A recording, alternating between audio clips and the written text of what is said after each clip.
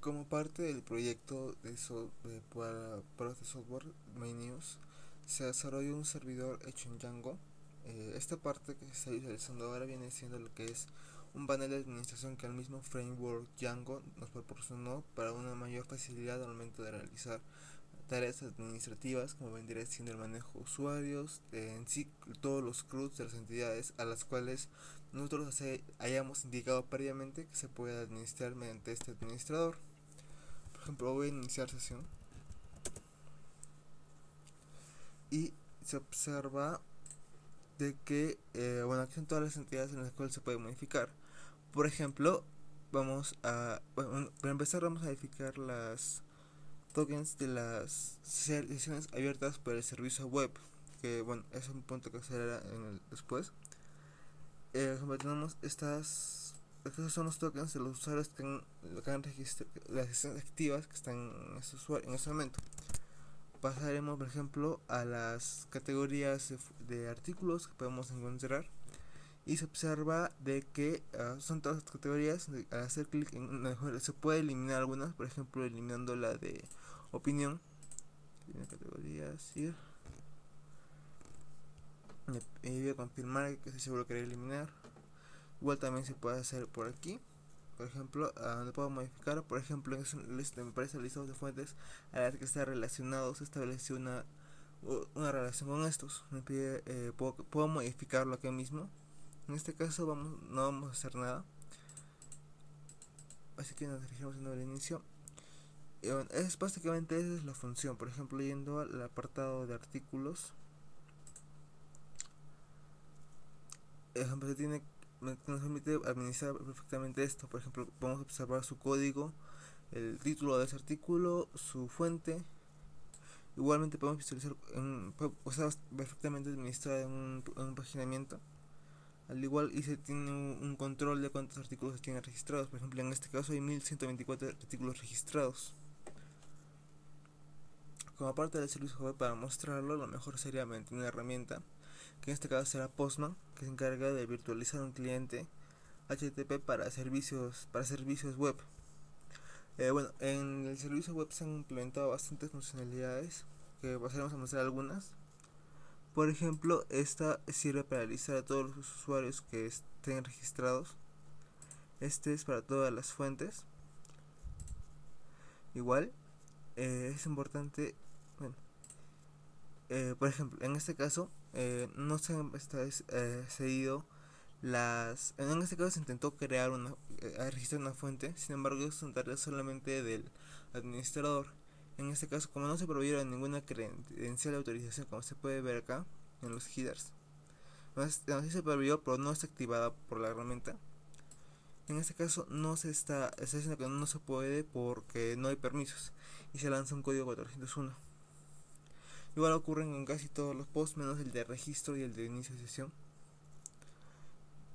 Eso solamente muestra un listado de las fuentes que se tengan registradas. Por ejemplo, esto es un ejemplo de los resultados que daría una búsqueda. Una forma más óptima de verla en este caso sería un row.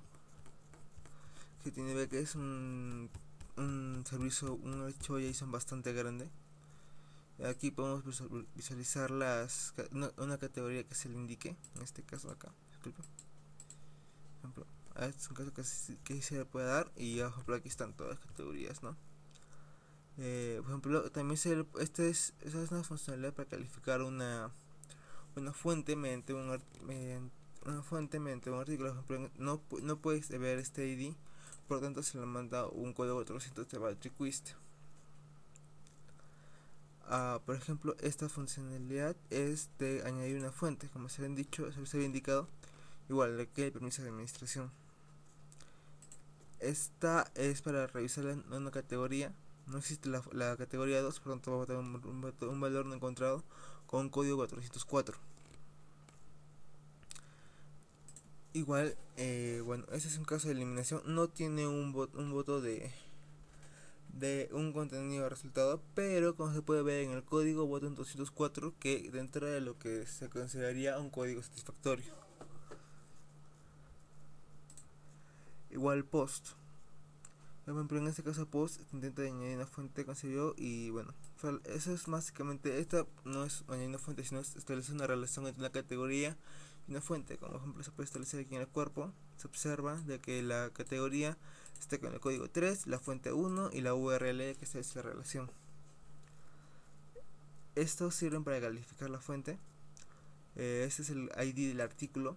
Bueno, la calificación se hace a través del artículo se tiene el header de la autorización y el body se tiene calificación, en este caso es una calificación negativa y lo califica negativo reduciendo la, la, la calificación. En fin, se tienen, bastantes, se tienen bastantes funcionalidades, no se va a pasar a explicar todas porque no alcancé el tiempo del video. Uh, pero bueno, por ejemplo en este caso retorna el valor del usuario autenticado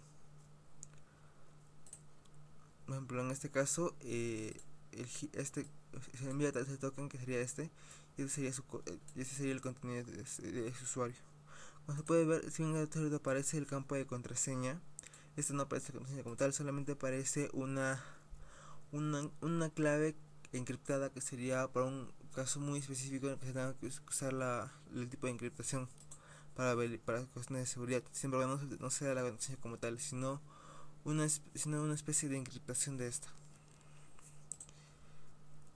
Uh, se siguen haciendo búsquedas. Y en ejemplo, este, este es una interesante en el que da el resultado del, del usuario autenticado. Retorna el usuario que esté, el, los datos del usuario que, se está autenticando. Esta, uh, este era, es para obtener todos los datos de los administradores.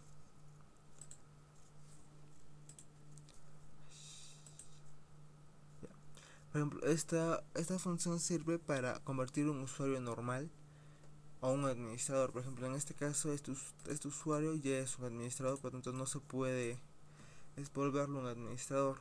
Por lo tanto, votaría error y un, un código 304 que sea no modificado.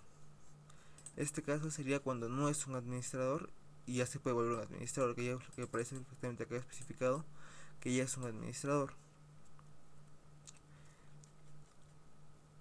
Ahora, en las categorías de búsqueda, por ejemplo, se va, voy a mostrar un caso en el que se hace una búsqueda de una página, por ejemplo, del coronavirus. Un ratito. Uh,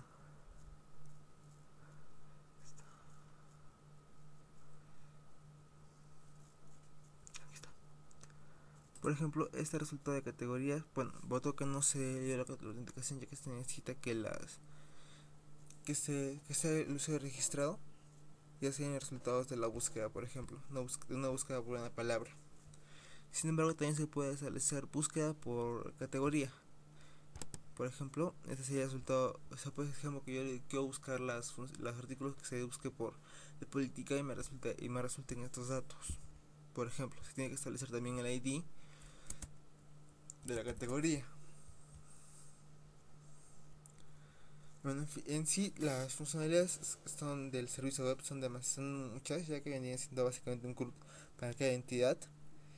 Y así como también las relaciones eh, many to many que hay, entre estas, también tienen su respectivo CRUD en el servicio web, como al igual como se ve en el administrador de Django. y solamente el único, que no, el único que no tiene un CRUD como tal vienen siendo los artículos ya que estos no se pueden, un usuario no podría eliminarlos, ya que es información importante, información vital para la aplicación. Esto solamente tiene la, la una, vista, eh, una vista de servicio web eh, para lo que es la visualización mediante la búsqueda por palabra y la búsqueda por categoría. Gracias.